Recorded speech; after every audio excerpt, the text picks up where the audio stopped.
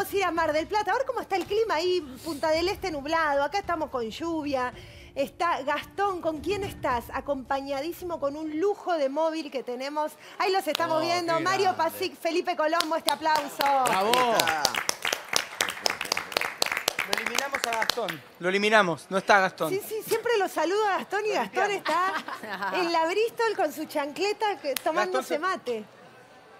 No, pero vieras cómo hace así. Le pone una onda al laburo, Pará, te digo. Lo tenemos a Mario No. Pasic de Notero. Acá está medio neblinoso, hubo mucho viento durante el día, ahora mainó. Eh, se ha venido un poco de calor y bueno, y suponemos que va a estar lindo como ha estado en todos estos días, Denise. Sí, me encanta, Mario, como decía Fer Iglesias recién. Eh, de notero. Son nuestro notero de lujo, hasta el clima nos pasó. Claro. Yo esperaba, eh, no, y él, bueno, Bueno, esperemos que pase, amainó, 90% de humedad, te tiró todos los datos. ¿Y cómo viene ese teatro? Hablando del clima, Sí. se decía que venía una temporada que arrancó difícil, eh, pero que ya la gente fue llegando. ¿Cómo, ¿Cómo están en el teatro, chicos? Mira, te voy a decir una frase que nunca nadie dijo, pero el público nos está apoyando firmemente. Qué Ah, Qué bueno. bueno. Pero es tan lindo escucharla, aunque la digan tantas veces. No, es la verdad. tan lindo escucharla, sí. Es la verdad, la verdad que vi- vinimos con una con una obra que de arranque por título puede invitar a bueno a ver una cosa romántica y para una sonrisa y la verdad que la gente eh, se sorprende, se lleva mucho más, eh, se lleva el reír constantemente. Es un equipo de verdad muy muy lindo el que formamos. Hace falta que haya una especie de familia en camarines para poder brindar sobre el escenario una, un- una familia con un agregado cultural que lo tengo acá al lado. Este, Un que genio, es don Felipe, ahí Colombo. está, sí. Una gran obra, ¿no? Hola, Felipe, bienvenido. Ahí estamos viendo imágenes de la obra. ¿Qué ¿no tal? ¿Cómo andan? Gracias, gracias. Es, es la obra con la que. Sí, mira, la verdad es que es Sí, un placer y tuvimos una muy linda temporada en Capital. Tuvimos en el 25 de mayo un teatro bellísimo, también un hermoso marco para esta historia de los años 40. eh, y la temporada fue tan linda, con una recepción tan, tan linda, con el público acompañando y disfrutando tanto que eh, un poco es un premio también poder traer los martes orquídeas acá a Mar del Plata. Estamos en la sala Pairó del, del multi- del auditorium, perdón. Eh, lo cual hace que las entradas sean muy accesibles y eso ayuda al momento de tomar la decisión, ¿no? De, de qué espectáculo o de dónde, viste, invertir un poco de tu dinero y tu tiempo libre. eh, ayude a que la gente eh, pueda acercarse y disfrute de realmente de un espectáculo que tiene madre. mucha producción. Eh, se Sí, ve, sí. pero divino. Es una apuesta Además, muy linda, una adaptación muy ágil también. Sí, los que hemos visto la película y, Y todo además se ve que muy la gente se. La gente se ríe, pero a carcajada limpia. Eh, eh, entran primero en la atmósfera, que es un poco el primer trabajo que tiene la obra, es llevarlos a esta época, eh, antojarlos, convidarlos de la- del, del vestuario, de, de la forma de hablar, de la forma de moverse, de la música y guiños a la época, y después entrar directamente en la comedia y en las peripecias, y la gente sale doblada de risa, y eso es maravilloso para nosotros. Y además con una- y una estamos muy, muy obra- agradecidos de hacer esta obra. Eh, Felipe, Mario, Maxi Leniari, los saludo. Una obra con la cual, eh, al mismo tiempo que tuvo un gran éxito en Buenos Aires, eh, una gran expectativa para mucha gente del resto del país que va a Mar del Plata y que recuerda lo que significó para la historia de nuestro cine y para la historia de Mirta Legrand, hoy el personaje lo hace muy bien Candela Vetrano, eh, una, una pieza fundamental. Así que imagino que hay una emoción extra, ¿no? Que, rodea este espectáculo que encarnan. Hay mucha complicidad, ya en la propuesta de, de la historia hay mucha complicidad. Eh, es un argumento muy hábilmente hecho para una época del cine argentino donde éramos eh, los, los que más llevábamos películas a toda Latinoamérica, la parte latina Sí. de Estados Unidos, y que tanto fue así que se estrenó en el 40 y en el 41 pidieron de una gran productora, creo que la Metro, de allá, y la hicieron con Fred Astaire y Rita Hayworth. Sí. Eh, o sea, era un argumento, pero a toda prueba. Y la Qué verdad que es así, la trama, Jorge Maestro, que fue el encargado de volcarlo al teatro, siempre lo dice, no, no, esto era de ellos, esto era de ellos, de, de los autores originales. Claro. Y la verdad que estamos muy contentos con la respuesta Respetaron del público, el bastante, eh, público Mario, perdón que te agradece interrumpa. verdaderamente. ¿El guion original se respetó Sí. bastante o hubo que adaptarlo, les quedaba un poco antiguo o son esos guiones que, que, digamos, que trascienden todas las épocas? Mira, sí es un trabajo muy, muy interesante eh, de adaptación.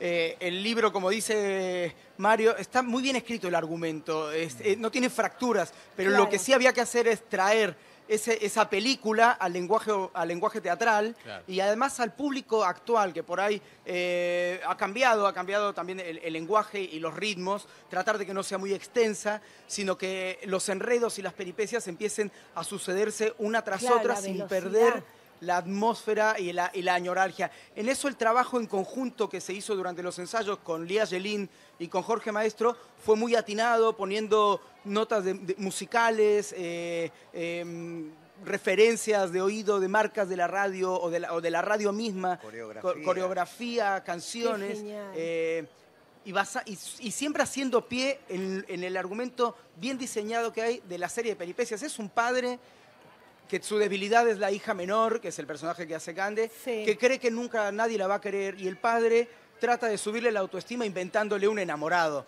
Y después Ay, de ahí empieza a hacer toda una serie de equívocos. Eh, es, es una comedia blanca, tierna, muy frágil Redonda. también para nosotros. Es un trabajo muy, muy, muy al límite todo el tiempo porque requiere absoluta verdad para que suceda toda la comicidad que hay. Y muy efectiva, Denise, muy efectiva. Muy efectiva, ¿no? Mario, recién hablaba Felipe, que es un poco más joven que nosotros, de los tiempos de ahora, la velocidad, Sí. lo que cambió. Vos No que has. Con tantos años de carrera, has pasado por muchas etapas, ¿no? Eh, ¿Cómo te llevas ahora con esto nuevo de los chicos, los el Instagram, los Instagramers, ¿no? Porque nos cuesta a todos ver que la tele ya no ocupa La el lugar que ocupaba antes, las ficciones. Felipe me, agrega la televisión color. claro, el cine No. con sonido. Mirá, yo, yo no consumo, pero doy que hablar, me parece. Porque los chicos, yo digo algo y me lo suben. Este, yo, eh, será porque soy de Pis y no me gustan las redes, no, no, no ejerzo eso. Pero es, es lo que ahí es. Es bueno, bueno. Es como hablarle a, a gente. Sí, sí, es como. redes. Es como. como sí. Hilarante. Este, es como, como cuando, no sé, cuando estaba la radio pasando un proceso de televisión y por supuesto que trae todo un movimiento, pero no hay otra manera que ir que para adelante, eh, con las contradicciones que trae, con los vicios que trae, con la, eh, con la parte hasta, te diría, oscura de esta cuestión de las comunicaciones y, y de la opinión, de para arriba, para abajo, pero me parece que es- es lo que es y hay que aceptarlo. Sí. Chicos, les queremos agradecer Estamos, un estamos lujo. convenciéndolo de que se abra un Instagram. Por Estamos favor, abrile vos, Sí. Felipe, un Instagram. Manejáselo vos, vos grabalo Ya todo lo el intenté, tiempo. pero no quiere. Yo voy subiendo lo que él manda al grupo de WhatsApp. Mario, el otro mejor día mandó un tutorial de cómo prender Un el nuevo calefón. negocio. Claro, Y lo subí lo- yo, me tuve, tuve que subirlo yo porque él no quería. No, no, que Pero te- es como, viste, esa gente que sube videos de sus papás o de familiares que no tienen y, y lo vas escrachando. Me encargo yo de escracharlo. Es Basta, no genial, quiero como el que chico que hablen carga a más la de mí. abuela.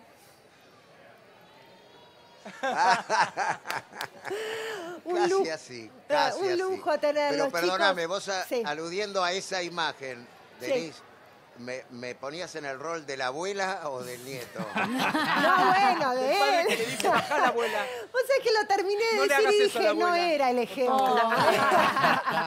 no, No, era el no, ejemplo. es- no, Estás es- hecho un pibe, Mario. Denise, le dijiste mirá. viejo, pobre. Qué Ah, mal. no, che, hay abuelos de cuarenta y pico de años, por favor.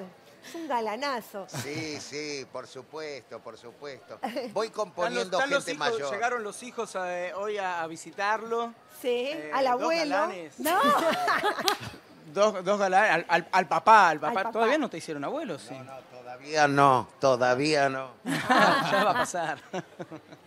chicos, gracias. Inviten a la gente. Este, eh, están por ahí los dos, los dos galanes Pasic dando vueltas por la costa. Inviten a la Sí. gente al teatro. Recuérdenles qué días, eh, así no se pierden este gran clásico con este El Encaso. Un lujo tenerlos.